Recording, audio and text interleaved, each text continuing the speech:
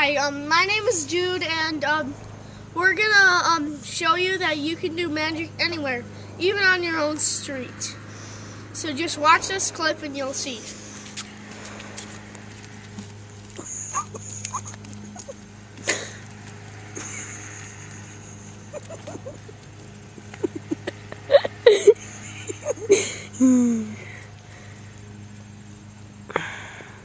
Alright. Ready, Jude? One, two, three.